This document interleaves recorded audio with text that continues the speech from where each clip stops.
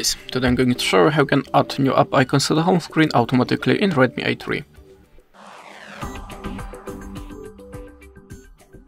So the first up hold the finger on the empty place on your screen, then go to the home settings.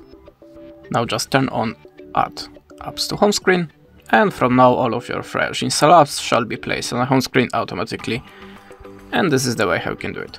Thanks for watching and goodbye.